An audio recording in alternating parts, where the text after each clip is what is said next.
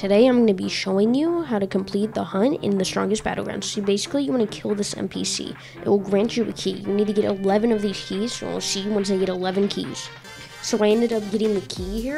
As you see, once I killed him, I did get my final key. Now this will activate an animation, which gives you the hunt badge, but you can also get a UGC item by going to the cosmetics. If this helped you, make sure to like and subscribe. Anyways, goodbye.